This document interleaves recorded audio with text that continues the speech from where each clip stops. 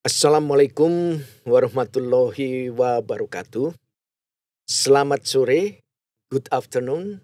Welcome to BRGM Podcast.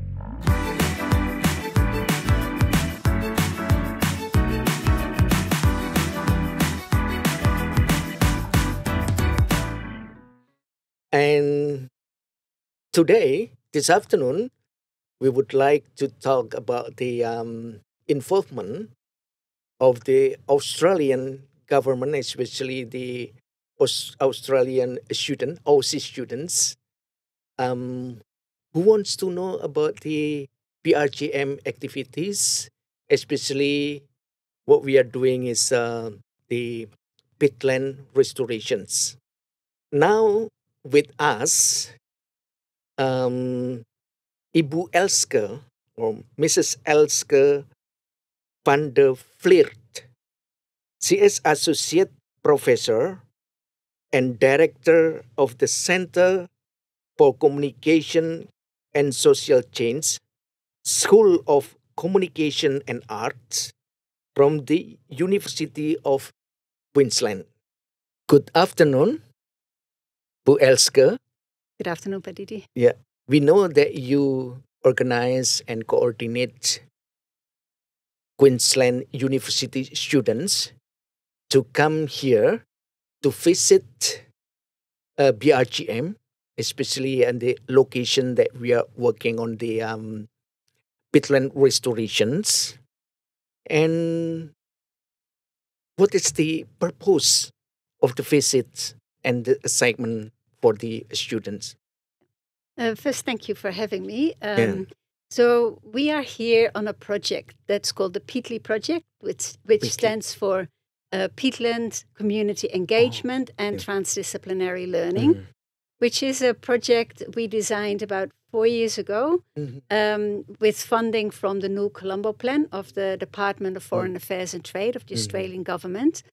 Um, and the, it, it, it's a, the New Colombo Plan is a short mobility funding plan. So it gives travel grants to students, to Australian domestic undergraduate students, to experience um, uh, work and life in, a, in one of our neighboring countries. Oh, interesting. So Yeah. what the PEATLI project uh, uh, wants to do is expose students from different Mm-hmm. disciplines, different uh, different programs, uh, to a complex situation uh, like peatland restoration.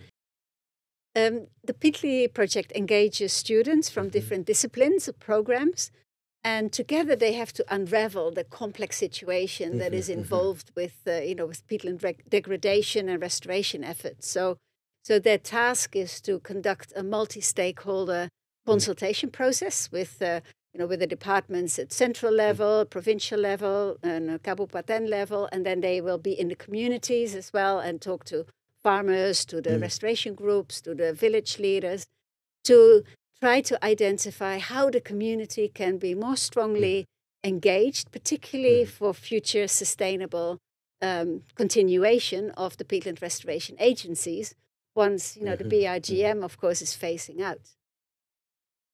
And then, what do you expect from the students when they completed their task in Indonesia, visiting their location, talking to the farmers, watching what BRGM's doing in um, restore the peatlands? So when they come back to Australia, what is the expectation Yeah. uh, from them? Well, first, the first expectation is they come back to Jakarta and report back to Oh, you. yeah. So Sure. they will have to they will have to do that Mhm. analysis ba- based on their multi-stakeholder consultation and and come up with some recommendations how Mhm. maybe how uh, how the the rest the, how the community can be you know continues to continue to be uh, engaged for sustainable implementation even beyond you know the program.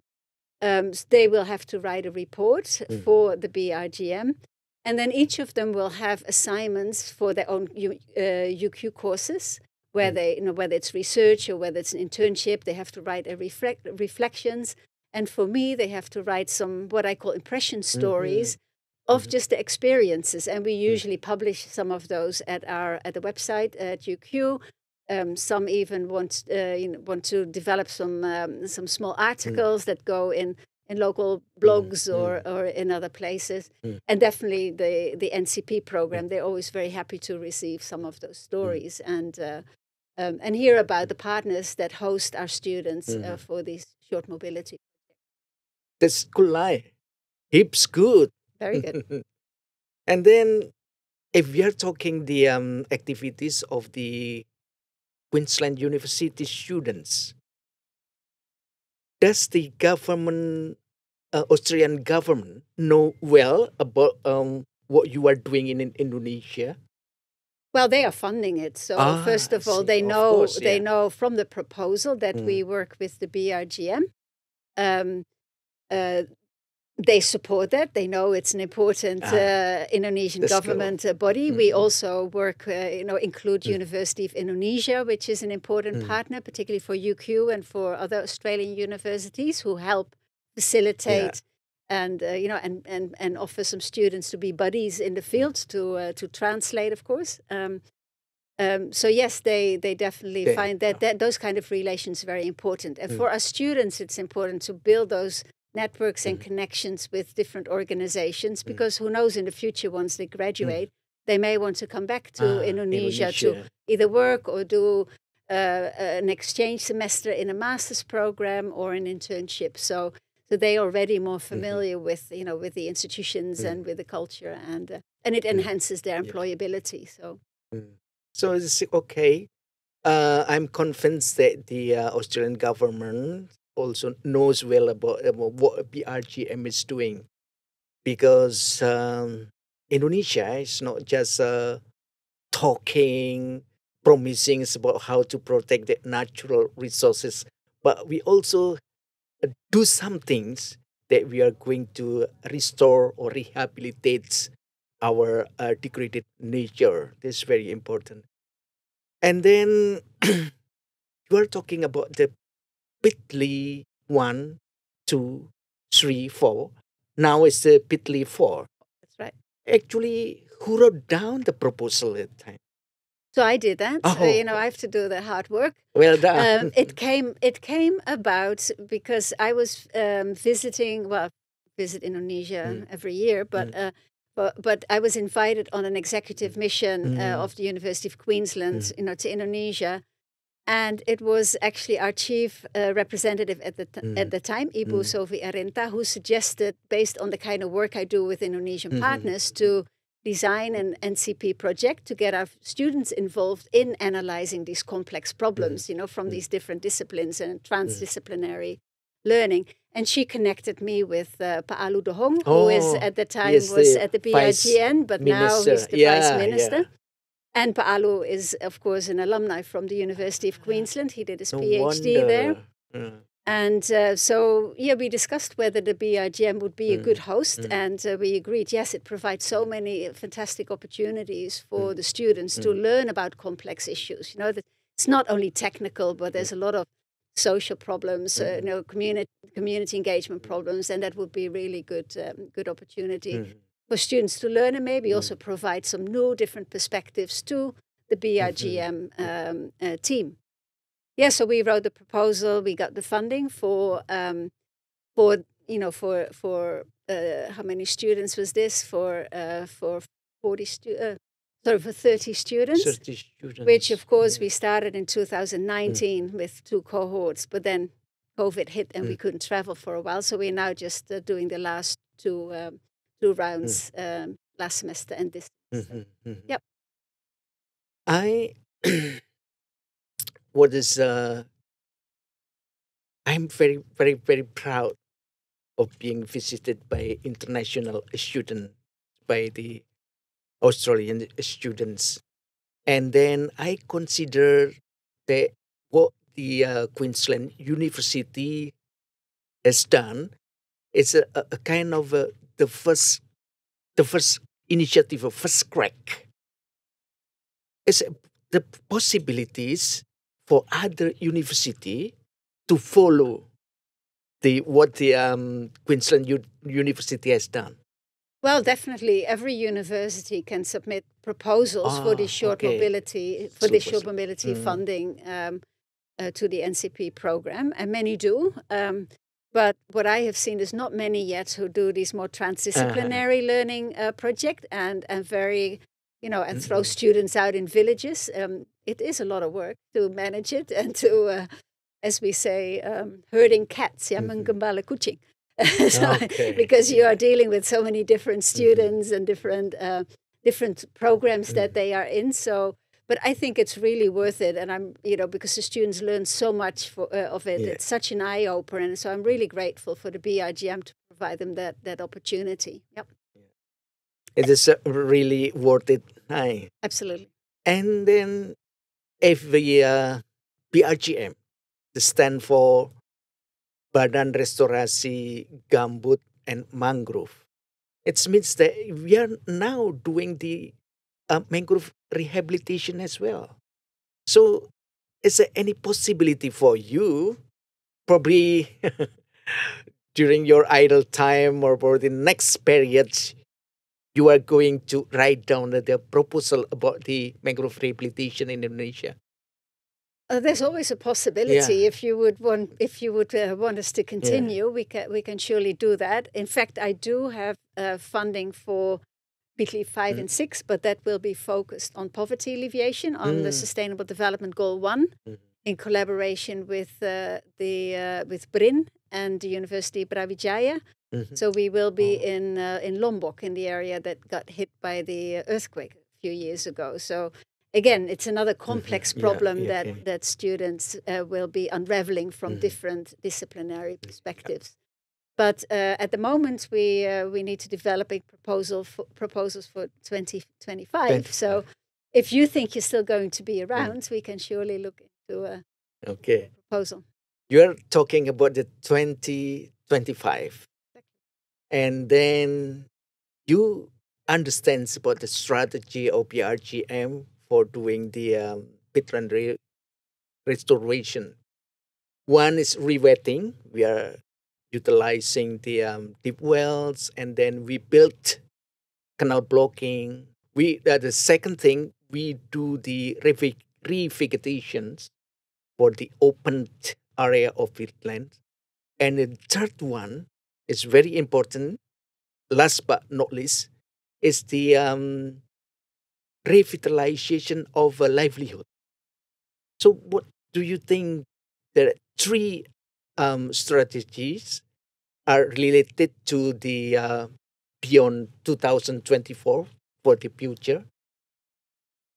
Um, well, of course, you need your rewetting and the revegetation to restore the lands, Yeah. and it's and as you know, many of your staff also say, it's not just only the technical uh, expertise that you bring; it's also about organizing the communities and the Mm. local uh, local agencies to continue doing that Mm. because you can't do it just once and stop doing it. Um, in terms of the revitalization, that of, of course involves many Yeah. partners because you know if that's about if it's about the livestock, you know Mm. you need to work with the Department of Livestock. It's about Mm. growing uh, crops, that you have Mm. to work with the Department of Agriculture or or with, with other groups. So and that requires a lot of coordination and a lot of education and Mhm. training and what I always find most important to, you know, particularly in the process, and that's kind of the type of projects I've been involved a lot, know, agriculture projects that were transitioning farmers through, you know, more sustainable practices, is how do we first enhance farmers' critical skills? You know, how can they work out what's the best for them, you know, under the conditions. They have to understand the ecology of their lands. They have to understand, you know, the opportunities, the market opportunities. They have to be able to do an economic analysis before you can even tell Yeah. them what they should be doing. So that requires a totally different set of skills of facilitating, you know, farmer groups or community groups as only, te- you know, giving them technical knowledge. Mhm. And, and that's going to be very important, I think, for an exit strategy that those facilitation Ah, mechanisms and that expertise is locally on the ground to support those groups in that ongoing change process, transition from, you know, utilizing the, the environment towards actually sustainably managing it while also enhancing their livelihood. Thanks, Elske. probably this one is the last questions. I'm just wondering, do you allow students to criticize BRGM or what BRGM is doing?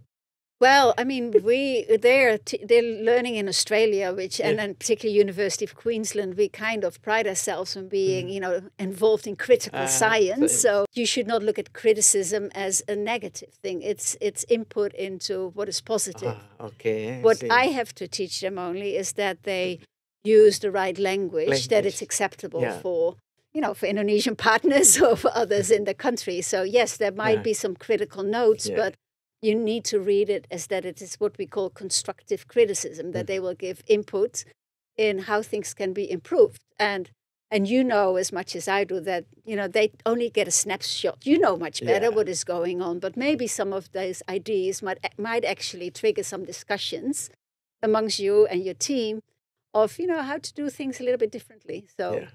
yeah, so don't take it as criticism. Take All it as take it just as, uh, as inputs. as input. Yeah. inputs uh, yeah. To improve the Exactly. BRGM improvement uh, performance. Okay, we wish you very well, and then uh, I wish you being happy and got a good result in Jambi province. Yeah, I heard that uh, the student is gonna be there for learning and then watching, listening, and then what is write down of the experience and I hope that the students are very happy to work uh, with the local uh, communities, and then we will bring back very good results about their experience with the BRGM peatland restoration. Thank you, Well- Elske, and then Yeah, and thank you very Yeah. much for providing this this this uh, really unique opportunity to our students. So Yeah. thank you very much, everyone. yeah, everyone. we are lucky to have you this afternoon. Thanks, guys, uh, for watching us. This is the end of our interview with Ibu Elske, and then see you for the next uh, podcast agenda of PRGM podcast. Good afternoon. Wassalamualaikum warahmatullahi wabarakatuh.